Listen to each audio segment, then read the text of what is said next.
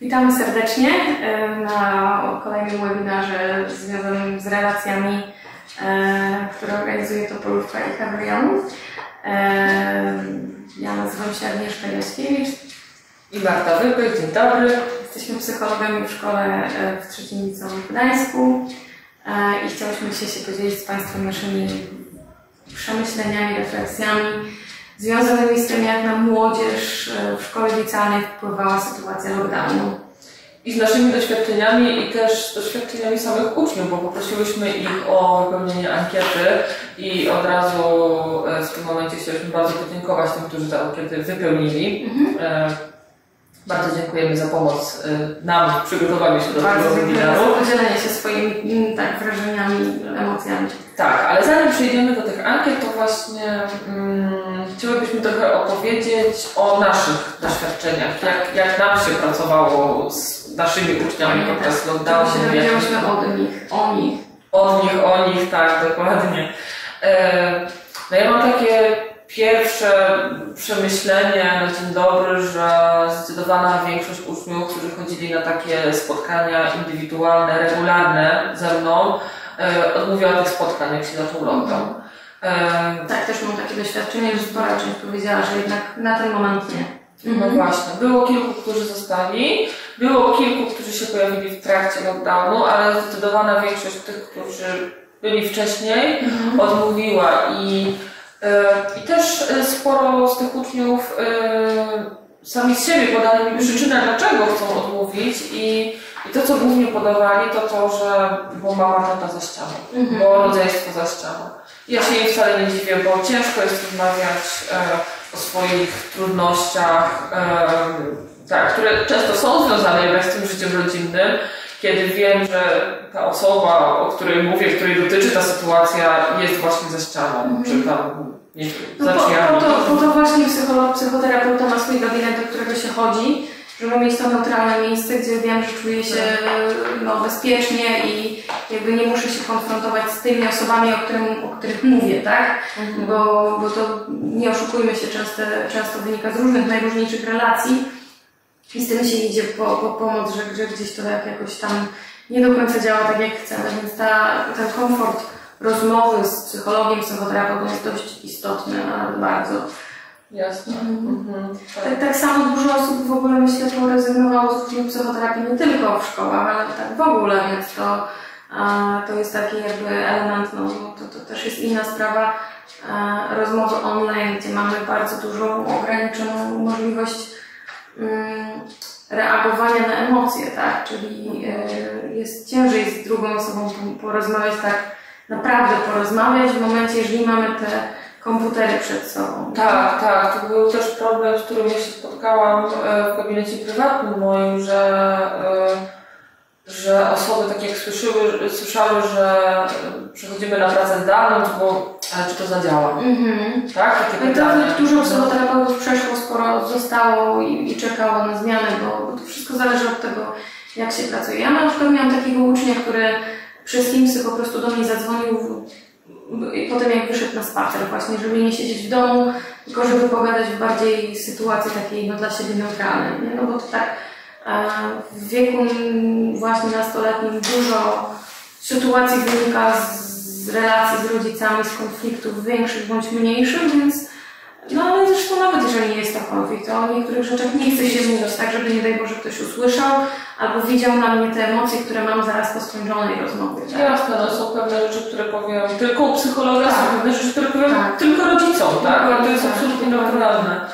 E, co więcej, ja się spotkałam e, z takimi reakcjami uczniów, e, którzy tak sobie dopasowywali termin naszych spotkań online, żeby rodzice właśnie nie wiedzieli, nie słyszeli, mm -hmm. bo rodzice na przykład nie wiedzą, że uczeń korzysta -hmm. tak, z pomocy psychologa szkolnego. Do czego uczeń ma prawo? Ma prawo Do pewnego momentu oczywiście. Tak, jeżeli nic tam się takiego nie dzieje, to ma prawo chodzić, e, jeżeli rodzic wcześniej na to zgodę wyraził i nie informować rodzica o tym. I, I tak też się zdarzało, że mówili tak, to ja bym chciał, chciała o tej godzinie, tego, tego dnia, jeżeli można, bo, bo wtedy jestem sama na przykład. Tak, tak. I to jest, to jest ten jeden aspekt. Drugi aspekt to były zajęcia szkolne. gdzie uczniowie też deklarowali, że jest to wiele, znaczy nawet nie trudniejsza, ale zupełnie inna, inna forma uczenia się, która dawała im dużo swobody w kontekście spania, czasu dla siebie, ale z drugiej strony e, zabierała możliwość e, tego, żeby właśnie wyjść i być gdzie indziej, żeby nie być non-stop z rodziną, tylko móc być z rówieśnikami, żeby zmienić swoje zajęcie, ale też mówili o jakiejś motywacji, koncentracji, że im się nie chciało, bo to wszystko w domu.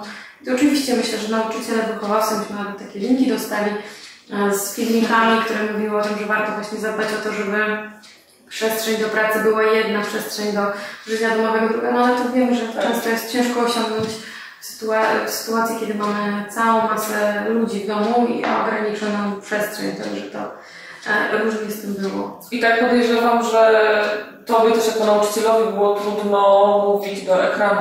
Zdecydowanie. W momencie y, nie wymagałam kamerek ja osobiście, e, bo to jest jednak z jednej strony nie każdy ma techniczne możliwości, z drugiej strony na początku wychodziło, że jest to jakaś taka wchodzenie w prywatność, bo jednak wyglądamy e, sytuację. Potem oczywiście pojawiło się, że można robić tła i tak dalej, ale jakby dalej wychodziłam z założenia, że nie jest to niezbędne.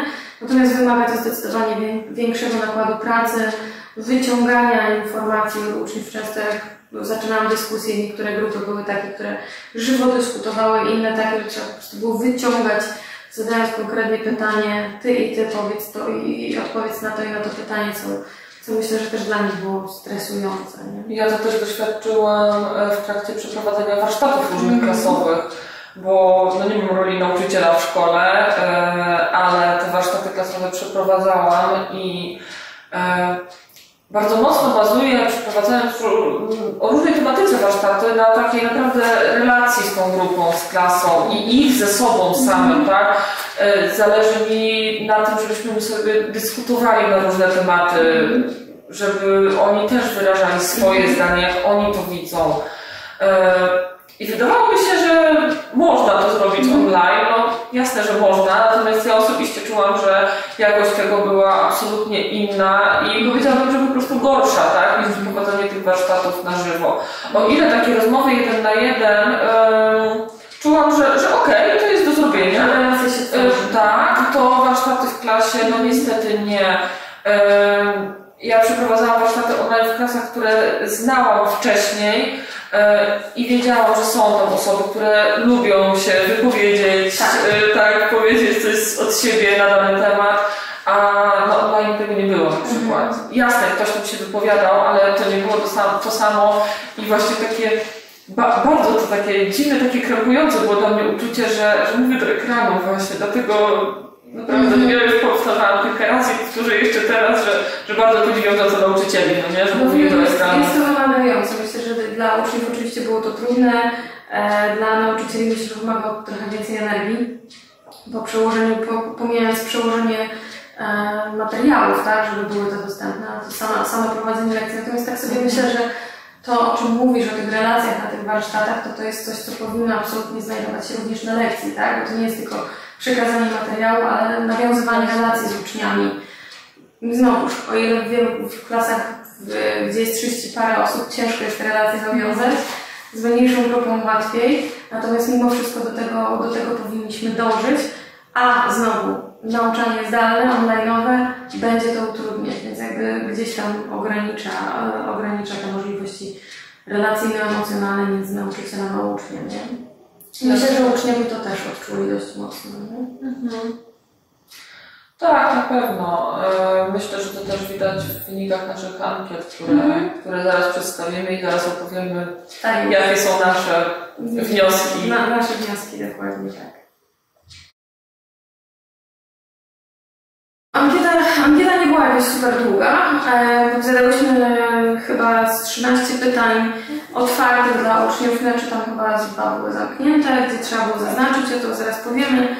E, pytania były przez nas an- analizowane głównie jakościowo, czyli interesowało nas to, co uczniowie mówią, a nie jak często coś się pojawia, także bardziej treść niż ilość. E, I zaczęłyśmy od pytań, co było dla Ciebie łatwiejsze, albo jak, czy widzisz jakieś pozytywy, ponieważ zakładamy, że sam lockdown, e, czyli ta pandemia, która się pojawiła, to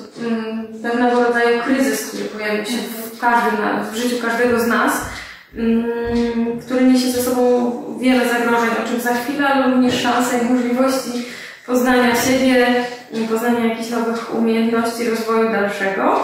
E, uczniowie deklarowali, że zdecydowanie mieli więcej czasu na sen. No właśnie, to zatrzymajmy się tu, ten sen.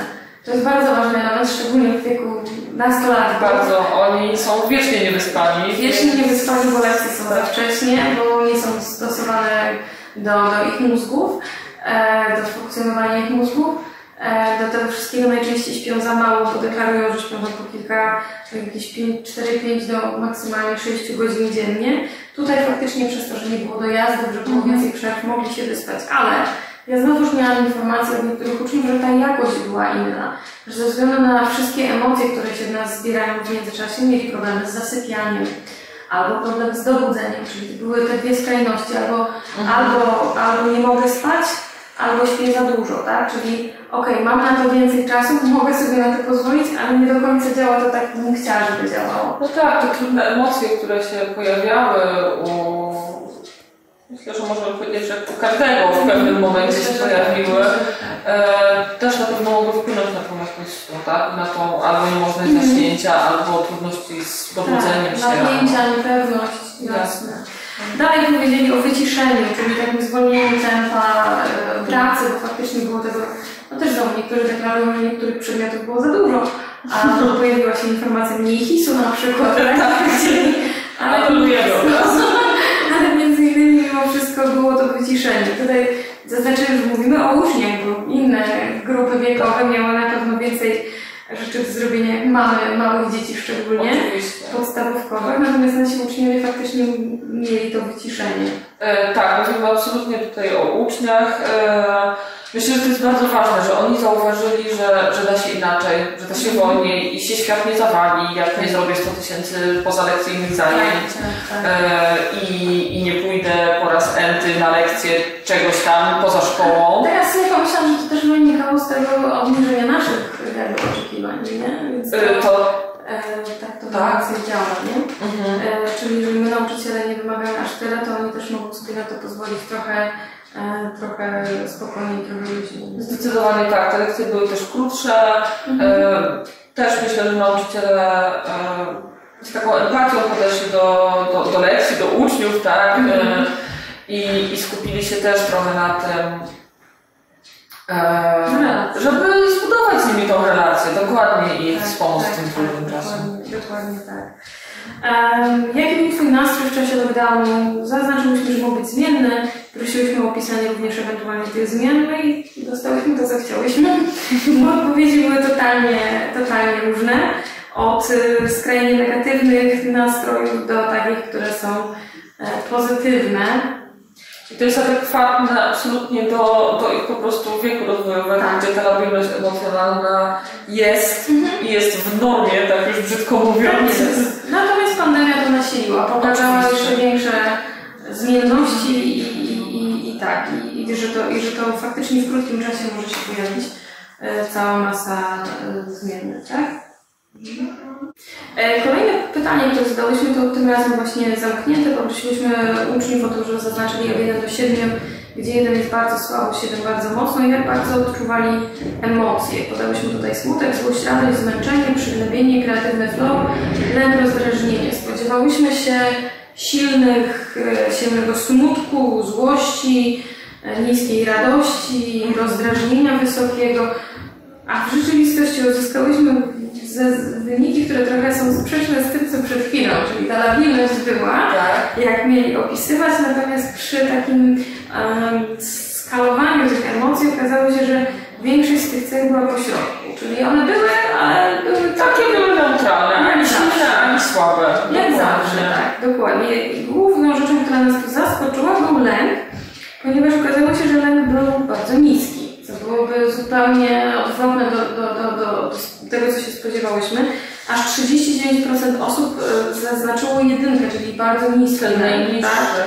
Y, I to tak sobie myślę, jak, jak to się ma do, do kolejnego pytania, y, gdzie zapytałyśmy właśnie y, o ten lęk, czego oni się bali, Tak, nie czy czegoś się bali. Nie było odpowiedzi niczego, tak? Że pewnie się To było pytanie otwarte, co natomiast y, bardzo dużo osób pisało, że się bali o zdrowie swoje, o zdrowie swoich bliskich, o to, kiedy wrócimy do szkół, tak, jak to będzie dalej. Tak, tak. Y, I naprawdę odpowiedzi tych było sporo, y, a jednocześnie ten bliski lęk. y, Tak, więc no tutaj zastanawiałyśmy się nad tym, że to może wynikać z tego właśnie, że e, po pierwsze jakby no, nazywanie emocji jest trudne. I o ile opisuję czego się boję, jest łatwiej zrobić niż nazwać lęk. Co to znaczy lęk, tak? Myślę, że to może być jeden problem. A dwa, kwestia tego, kiedy to zostało zrobione. Ja też tak myślę, że to, że oni odczuwali ten lęk, e, no bo tak wynika z tego, co piszą, tak, że bali się o siebie, o bliskich e, i to, że oni odczuwali ten lęk w marcu, kwietniu, to nie znaczy, że oni teraz wypełniając ankiety, gdy mamy wrzesień, e, mają możliwość wrócić do tego, tak, i przypomnieć sobie, jak to było w ogóle wtedy, Tak. jak to, czy ja odczuwałem ten lęk, czy ja nie odczuwałem, tak. Myślę, że to jest kwestia jakiegoś próby zapomnienia tego też, bo to też jednak trudne emocje, tak? Myślę, że słowo wyparcie byłoby tu zbyt duże, ale jakiegoś takiego odcięcia się od tego i próby jakiegoś działania, e, funkcjonowania. No i też takie typowe trochę dla wieku młodzieńczego życie tu i teraz, no nie? I to co było, no to już było. No tak. Miałyśmy tu też e, emocje, może to nie emocje, ale kreatywność, jakieś poczucie kreatywności, która też była no, no, zgodnie ze średnią, natomiast faktycznie miałyśmy informację, że coraz więcej osób znalazło sobie różne hobby, zainteresowania nowe, którymi chciało, które, które mogło gdzieś tam e, realizować. I to gdzieś tam e, można wytłumaczyć tym, że jeżeli dana osoba ma w sobie takie duże zasoby, żeby poradzić sobie z trudną sytuacją, to znajduje sobie trochę inne cele niż te, które wcześniej były, tak? Czyli jeżeli wcześniej celem było przychodzenie do szkoły, tak, robienie lekcji i tak dalej, teraz ten cel jasne, że zostaje, ale nie ma różnych innych rzeczy, które robiłem, robiłam i mam ten czas wolny, więc wyznaczam sobie inne cele, typu nie wiem, nauczenie się jakiejś gry na czymś może, tak? Malowanie. No, tam malowanie, tam różne rzeczy podawali tak przy tym kreatywnym flow, że odkryjesz sobie jakieś tam dusze artystyczne różne. Jakie napotkałeś trudności podczas lockdownu, co było dla Ciebie najtrudniejsze? Okazuje się, że na pierwszym miejscu były relacje społeczne z rówieśnikami, spotkania ze znajomymi na żywo, których było mniej albo w ogóle w pewnym momencie. Potem były również problemy ze skupieniem, motywacją do nauki, no i problemy techniczne. Natomiast my chcemy się skupić na tym najczęstszym, czyli komunikacji, relacji z, z rówieśnikami, bo to naszym zdaniem, no i nie tylko naszym uczniów też było, było głównym problemem i Tak. i to się dość mocno mogło e, odbić, tak? Ta, ta relacje, które były na co dzień w szkole, raz mogę wyjść z domu, odpocząć od rodziców i iść spotkać się z znajomymi, którzy mnie bardziej rozumieją, a dwa, y, no, jakby no, grupa rówieśnicza jest grupą jakby najważniejszą dla nastolatków. Są ich decyzje, ich, ich jakby mm, założenia są ważniejsze niż rodzina na tym etapie, nie? E, tak, dla nich te relacje rówieśnicze są niesamowicie ważne. E, I rzeczywiście ta trudność takiego, e, ta niemożność spotkania się, e, widać to w naszych ankietach, że odcisnęły jakieś tam swoje piętno mm, i oni to bardzo często podawali, wręcz jako taką największą trudność to było to spotkanie, ale z zaznaczeniem, że na żywo właśnie, tak? I tutaj mamy tą różnicę, że e, nam dorosłym wydaje się, że oni tylko się online spotykają, Tak. a się okazuje, że jednak nie do końca. Korzystają z różnych e, komunikatorów, ale, ale okazuje się, że potrzebny jest ten kontakt na żywo i o ile właśnie nam, rodzicom, nauczycielom wydaje się, że to tak było, e, natomiast druga część jest taka, myślę sobie, fajnie dla nich, że doświadczają na ile ważny jest ten kontakt na żywo. Tak. Że jednak nie tylko aplikacja, że nie tylko telefon, ale kontakt na żywo jest niezbędny i okazuje się, że może tego brakować. Znowu będą różnice indywidualne, Oczywiście. Znajdą się osoby, którym to w ogóle nie było potrzebne, czyli ten kontakt na żywo i się upewniają się tylko w tym, że mogły y, kontaktować się tak jak chciały, tak jak lubią, czyli przez komunikatory, a, a, ale myślę, że większość jednak tak, bo tutaj mieliśmy, że 69% nie miało takiego samego kontaktu i że to było tak naprawdę najtrudniejsze, że nie Tak. widzą się, nie kontaktują się ze sobą. tak, to dalej myślę, że warto jest powiedzieć o tym wsparciu. Pytanie, od kogo uzyskiwałeś wsparcie? Okazuje się, że tak naprawdę największe wsparcie było ze strony rodziny, dopiero potem przyjaciele, znajomi. No, wynika to z tego, kto był bliżej. E, dalej, to jest takie bardzo optymistyczne w ogóle. Tak, tak, rzeczywiście, dokładnie. I to jest tak samo bardzo pozytywnie nas zaskoczyła odpowiedź na pytanie, jak zmieniły się Twoje relacje podczas, mhm. z rodziną podczas lockdownu i jak ta rodzi, sytuacja rodzina wpłynęła na to, na Twoje samopoczucie. Głównie musimy odpowiedzieć, że relacje rodziny się nie zmieniły, więc zakładamy, że były ok, zostały ok, albo neutralne zostały neutralne, lub polepszyły się, bo było więcej wsparcia ze strony rodziny. Jest to bardzo budujące, że młodzież ma oparcie w rodzicach i, i może bazować na tym jako bardzo ważnym zasobie, który pozwala im w rozwoju, a zarazem poradzeniu sobie z kryzysem, który napotkali. Nie? Dokładnie tak.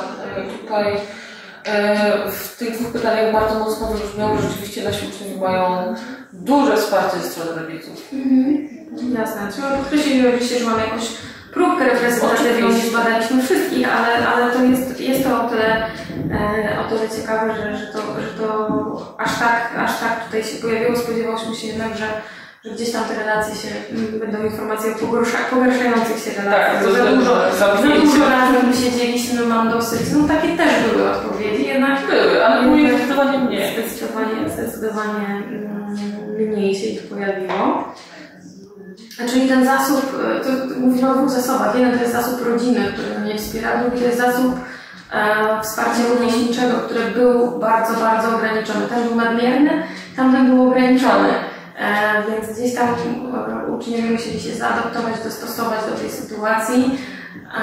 No ale proces y, kryzysu tego wymaga, żeby zaadaptować się i dostosować do tego, e, co się dzieje. Dokładnie tak, w zależności od tego, jakie mam możliwości moje osobowościowe, no to albo się zaadaptuję, albo nie, tak? Albo będzie mi to łatwiej przechodziło, albo trudniej. Czyli to jest ten trzeci zasób, co mam w sobie, moje doświadczenie, tak. moja osobowość, nie? W zależności od tego, będzie, będzie to inaczej wyglądało. Na pytanie, czy by potrzebowałeś, co mogłoby sprawić, że byłoby Ci lepiej, no to były kontakty e, znajomych, e, ale było też mniej szkoły, e, świeże powietrze, czego myślę, że w pewnym momencie wszystkim nam brakowało, szczególnie tak. gdy uczniowie nasi nie mieli 18 lat w pewnym momencie nie mogli wychodzić e, na dwór. Pamiętam, jak bardzo byli oburzeni 16-17-latkowie, którzy nie mogą wyjść. Dlaczego nie? Przecież są odpowiedzialni, mogliby pójść, a tu nagle e, jest... I to, tak, i to myślę, że, że nasze warsztaty relaksacji tutaj fajnie odzwierciedlają, mm jak bardzo potrzebowali tego świeżego powietrza, ponieważ jak zorganizowałyśmy takie warsztaty online z relaksacji tak. dla uczniów i nauczycieli, tak. to w tej sytuacji, kiedy był taki kategoryczny zakaz wychodzenia, było naprawdę sporo osób na tych warsztatach, a z czasem jak coraz bardziej te wszystkie obostrzenia e, znosili, to tych osób było coraz mniej i wtedy dostawałyśmy takie odpowiedzi wprost, przepraszam, nie było mnie, biegałam, nie wiem, byłam na spacerze. Nie pytałyśmy nikogo o to, ale się ludzie usprawiedliwiali. Dokładnie. Czyli znajdowali inne sposoby z rozładowywania napięcia, relaksacji i fajnie, bo natura Całe szczęście. cudownym sposobem na radzenie sobie z tym, natomiast tak, było, było to widoczne w naszych y, warsztatach relaksacyjnych.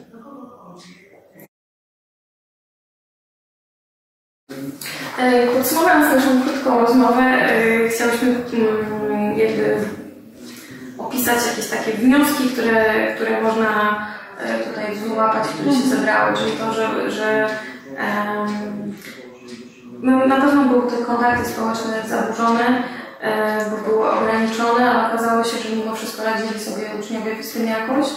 E, okazało się, że te relacje rodzinne nie ucierpiały aż tak bardzo, jakbyśmy się spodziewali, a wręcz może nawet u niektórych się polepszyły.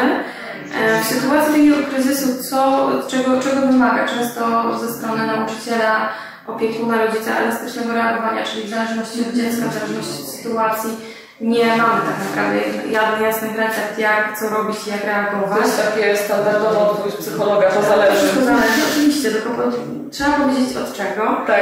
E, ale często też e, wymaga to szybkiej interwencji, czyli jeżeli widzimy, że coś się dzieje, że jest nasilenie pewnych e, objawów lękowych, czy nasilony smutek, czy właśnie ogromne zaburzenia snu, to jest to moment na, na szybką reakcję, interwencję, że trzeba znaleźć tego specjalistę, mm, który, który tutaj będzie reagował e, i pomagał, tak aby w jak najszybszym czasie możliwości doprowadzić tę osobę do jakiegoś takiego stanu funkcjonowania e, neutralnego, aby móc się dalej e, tak? to jest bardzo ważne, żeby rzeczywiście reagować i teraz, jak coś się dzieje i nie przytrzymywać tego długo, bo Mhm. może samo przejdzie. Mhm, dokładnie. I teraz tak, yy, kryzys to jest coś, co można, dla niektórych będzie coś, co muszą przeżyć sami, ale są tacy, którzy chcą to przeżywać z innymi, więc znowu różnice między ludźmi i warto wiedzieć, czy ta osoba chce być sama, czy może warto ten kontakt gdzieś tam dalej robić. Co byśmy chciały? Chciałyśmy na koniec przedstawić Państwu e, informacje o tym, czego, co, czego nie robimy w sytuacji kryzysowej, jak dziecko przeżywać, zarówno dla rodziców i nauczycieli i co należy robić. E, te punkty, które Państwu przeczytamy, e, są na podstawie książek, e-booka tak naprawdę. em, Edukacja w czasach pandemii wirusa COVID-19 pod redakcją pana Jacka Pyżalskiego. Bardzo, bardzo fajna książka, która ma dużo ciekawych em, Bardzo dużo takich praktycznych też tak, praktycznie okazji dla, dla dla nauczycieli, ale myślę, że dla rodziców jak najbardziej też to jest darmowy e-book. Więc yy, trzeba zacznijmy od tego, czego nie robimy w sytuacji kryzysu. Tak naprawdę nie należy dziwić się, że uczeń jest w kryzysie, tak? Bo to, bo to tak naprawdę każdy nas będzie przeżywał inaczej i to nie można robić ojej, a jak ty możesz być w takim e, w kryzysie. Nie, nie zaprzeczamy uczuciom, czyli weź się w garść, inni mają gorzej, nie bądź taki miękki, wyluzuj, bo tak Będzie miało być. No nie, każdy, każdy odbiera to tak samo, ma prawo do tego, żeby przeżyć coś, co dorosłemu wydaje się delikatnym kryzysem. Dla nastolatka może być to bardzo dramatyczne przeżycie i, nie należy negować tego.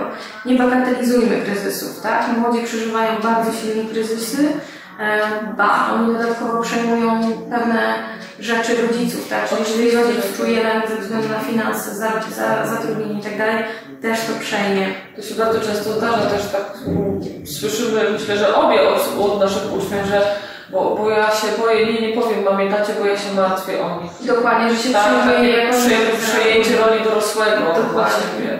Nie straszmy psychologami, psychoterapeutami, psychiatrami czy lekami, bo być może niektórzy będą potrzebowali z tego korzystać albo już korzystają z pomocy. Natomiast y, to nie jest tak, że każdy potrzebuje i nie należy tego traktować w formie jakiejś kary czy czegoś ostatecznego, bo już sobie nie dajesz rady, to wtedy. Niektórzy chcą, niektórzy nie chcą, warto o tym rozmawiać i zostawiać jako opcję, a nie przymus. I doradźmy nie podejmowanie ważnych decyzji w czasie kryzysu, e, bo często podejmujemy pod wpływem emocji i mogą one być nie do końca takie, jak chcemy. Zalecamy nie picie alkoholu, nie przyjmowanie oczywiście żadnych używek, tak? bo, bo to będzie jeszcze wzmacniać e, pewne, pewne reakcje, a nawet to cierpienie, lęki, które, które się pojawiały. Nie? Także to, to tego nie róbmy, bo to będzie tylko nasilać ten Tak, natomiast e, tego się sobie myślę, mm, żeby teraz odwrócić tak, drugą Tak. stronę, na czym się skupić, co robić w takim razie, nie pozostawić wszystkich Państwa z takim tylko, że nie wolno. tak. E, dbajmy bardzo naprawdę o relacje z tymi naszymi dziećmi i uczniami i to zarówno tyczy się, tak jak zresztą te wcześniejsze punkty, i nauczycieli i rodziców tak naprawdę, można to dwojako. E, Pytajmy ich, czy potrzebujesz czegoś ode mnie, czy mogę Ci w czymś pomóc, a jeżeli nie, to pamiętaj, że jestem i jeżeli zechcesz kiedyś, to możesz przyjść w każdej chwili. To jest bardzo ważna ta świadomość tego. No. E, poszukajmy razem z tymi uczniami, z tymi dziećmi pozytywów tego lockdownu. To, co, o co myśmy też w ankietach zapytały. Czy może coś fajnego to wprowadziło w Twoje życie, Tak. tak? Czegoś się dowiadujesz o sobie jako oso- o sobie, nie? O sobie, tak, Mhm. dokładnie. E, też warto pamiętać, e, to jakby, no teraz mówiłem po fakcie, no bo wróciliśmy do szkoły, z nie wiadomo co będzie, także może trochę o przeszłości, może oby nie na przyszłość, No to dotyczy różnych kryzysów. że y, to akurat typowo lockdownu, e, żeby pamiętać przy tym zamknięciu, żeby ten taki rytm dnia sobie dopasować. Tak. Żeby nie było tego, że jestem cały czas w pracy, jestem cały czas w szkole, tylko tak, jest czas, że jestem w szkole, a jest czas, że jestem na z moją rodziną, a jest czas, że jestem z moimi przyjaciółmi online. Się z piżamy w coś ładnego. Na przykład, na przykład, dokładnie tak, ubieram się normalnie, tak, dzisiaj też w piżamie, dokładnie tak. E, można też stosować oczywiście techniki relaksacyjne, o których też mówiliśmy, prowadziliśmy warsztaty. Ym, I też ci uczniowie, co korzystali, ja niektórych z tych uczniów miałam na indywidualnych, mówili, że naprawdę to im pomaga. Że, że te warsztaty z relaksacji takie były dla nich dopomnieniem troszkę jeszcze tego, żeby, żeby rzeczywiście znaleźć czas tak tylko dla siebie. Tak, na taki prawdziwy odpoczynek. E, No i pamiętajmy, że jeżeli e, dzieje się e, cokolwiek wychodzącego poza, jeżeli czy nauczyciel, czy rodzic czuje, widzi, że to jest już coś poza jego możliwościami, poza jego kompetencjami, to po to właśnie są specjaliści. I tak jak powiedziałaś Agnieszko, że nie za karę, ale porozmawiajmy z nimi o tym, tak? Czasami jest tak, że uczeń sam chce po prostu, tak? I mówi, no ja bym chciał, ale to nie wiem, zakładam, to nie tak do kogo się udać, tak? E, po to są specjaliści, żeby z nich korzystać. Dokładnie tak. Jak mamy tak też powtarzam, że przecież jak mam złamaną nogę, to idę, żeby mi gipс założyli, a nie biegam z tą złamaną nogą. to tak, To jest bardzo dobra analogia. myślę, że to odzwierciedla trochę. E, no i to tyle z takich naszych podsumowań, Nie wniosków mogę na koniec. więcej. Mogły być nawet. E, Także bardzo serdecznie dziękujemy za wysłuchanie. Dziękujemy bardzo. Do zobaczenia może. Tak. Dziękujemy bardzo.